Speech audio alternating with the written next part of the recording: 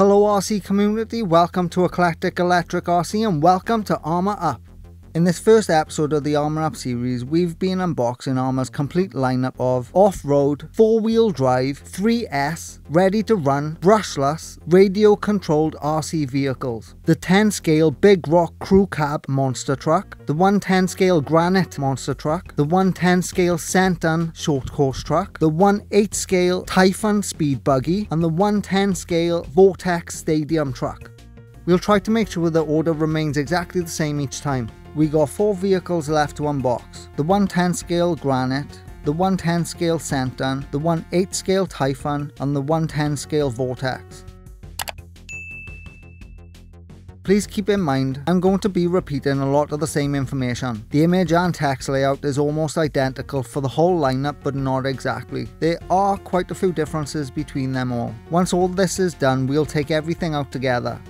And next up is the Arrma Granite, so let's jump straight into it. This is the Arrma Granite. Now just in case you wanted to know how much room you need to make in your secret hiding place just until a big reveal on someone's birthday, these are the dimensions of the Arrma Granite box.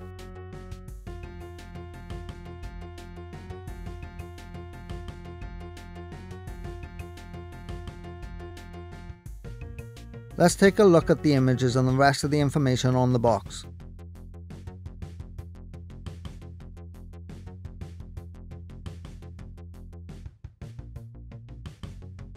Let's stand the box on the side so the vehicle on the box is the correct way up and work our way around the sides of the box in a clockwise fashion starting with the top side as side 1, the right side is then side 2, the underside is side 3 and the left side is side 4.